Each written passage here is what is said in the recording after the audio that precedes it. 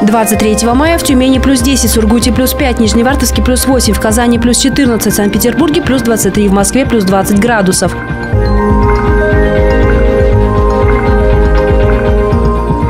В Тобольске облачно с прояснениями. Утром плюс 6, днем плюс 8, ночью плюс 2. Ветер северо-западный до 4 метров в секунду.